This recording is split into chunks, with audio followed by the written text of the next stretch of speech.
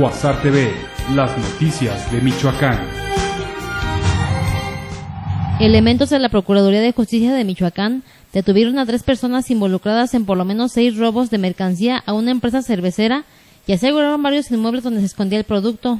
Derivado de estas acciones, el agente del Ministerio Público procedió al aseguramiento de los cuatro inmuebles, el taller, la camioneta y la mercancía recuperada.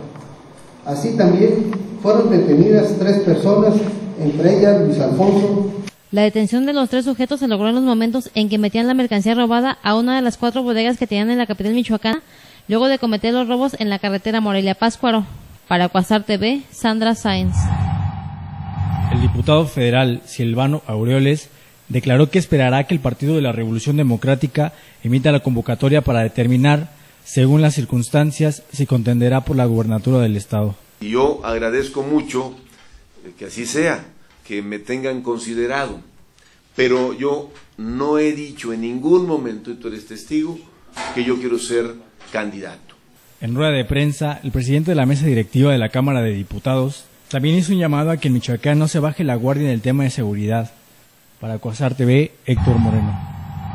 Aunque en México no existe registro de ningún contagio del virus del ébola en Michoacán, se han tomado las medidas necesarias de capacitación entre la población médica debido a que existen riesgos por la población migrante que vive en Texas y también podría significar un brote en la entidad, señaló Carlos Aranzadoni, secretario de Salud.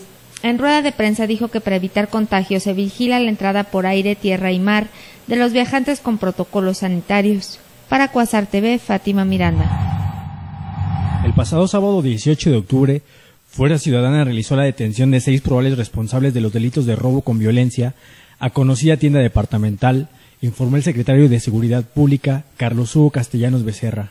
Esta acción operativa se registró el pasado sábado al sur de Morelia, en las inmediaciones de un centro comercial, luego que elementos de Fuerza Ciudadana recibieran una denuncia sobre el robo a una tienda de cadena nacional por parte de un grupo de personas y a bordo de dos vehículos.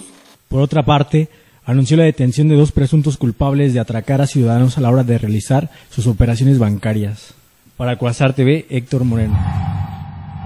La secretaria técnica del Consejo para el nuevo sistema de justicia penal, María de los Ángeles Yanderal, afirmó que se tiene un avance de cerca del 100% en materia de capacitación del personal. Al 7 de marzo eh, nosotros tenemos programado tener 100% de todas las instituciones. En sesión ordinaria pública del Consejo para el nuevo sistema de justicia penal, donde fue aprobado el anteproyecto de solicitud para que se emita la declaratoria de incorporación al sistema penal acusatorio y la declaratoria de entrada en vigor del Código Nacional de Procedimientos Penales en Michoacán, destacó avances importantes en infraestructura.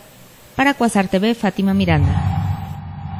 El procurador de justicia de Michoacán, Martín Godoy Castro, informó la detención de Abel Ávila y sus hijos Roberto y Saúl Ávila, así como Adolfo Valdovinos, como presuntos responsables de la muerte de Felipe Díaz Ávila, integrante de la Fuerza Rural de Cualcomán. Planearon dar muerte al miembro de la Fuerza Rural en virtud de que éste había intensificado acciones de vigilancia en la región de Cualcomán y afectaba sus intereses para realizar actividades presuntamente ilícitas.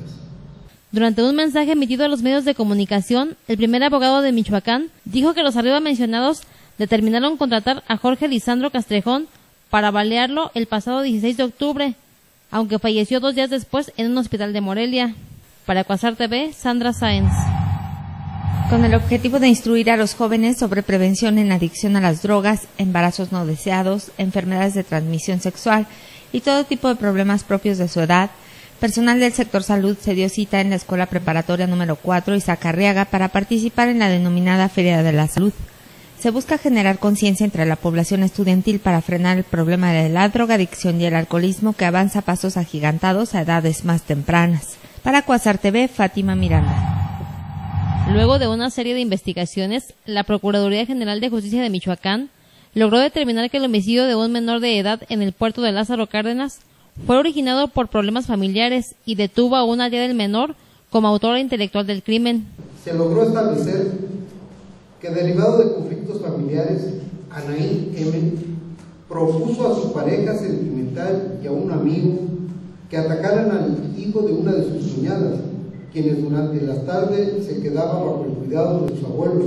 Según las investigaciones, la tía del niño ofreció una cantidad de dinero a su pareja Valentín y a un amigo de él, identificado como Obed, para que asesinaran al menor, y con engaños condujo al niño hasta ellos para finalmente presenciar el ataque. Para Cuasar TV, Sandra Sáenz. En Michoacán, los recursos forestales representan la base y sustento de desarrollo de 4.3 millones de habitantes. También somos líderes nacionales en la producción de resina y se comercializan 500 mil metros cúbicos de madera al año, señaló Guillermo Salas, presidente del comité organizador del sexto Congreso Forestal Latinoamericano. Los bosques aportan más del 80% de la producción del país para la fabricación de papel, madera y muebles. Bajo el eslogan Latinoamérica en armonía con la sustentabilidad de los recursos forestales y el medio ambiente, este Congreso tiene como propósito promover el comercio internacional de maderas tropicales y templadas aprovechadas legalmente. Para Cuasar TV, Héctor Moreno. Alrededor de 100 talleres que se ubican en la tenencia de Capula expondrán lo mejor de su producción en la cuarta edición de la Feria Artesanal de la Catrina, que se realizará del 26 de octubre al 3 de noviembre, donde también se llevará a cabo el tradicional concurso. En esta ocasión, la Casa de las Artesanías y Sifonar va a otorgar eh, recursos por el orden de los 60 mil pesos, se van a entregar 31 premios, es el 50% más que en el año pasado. Durante el evento, donde habrá talleres de demostración para que los visitantes comparen calidad y belleza a los mejores precios, también habrá venta y exposición de alimentos elaborados tradicionalmente. Para Cuasar TV, Fátima Miranda. Monarcas Morelia presentó este lunes a Mario Trejo como nuevo vicepresidente deportivo de la institución, luego de que hace aproximadamente dos meses dejara el cargo de la vicepresidencia de los Pumas de la UNAM. Mario Trejo externó sentirse contento de asumir el cargo de vicepresidente del conjunto canario y agregó que Monarcas tiene buen plantel para salir del sótano de la tabla general en las últimas cuatro fechas del torneo. Con información de Héctor Moreno, informa Cuasar TV.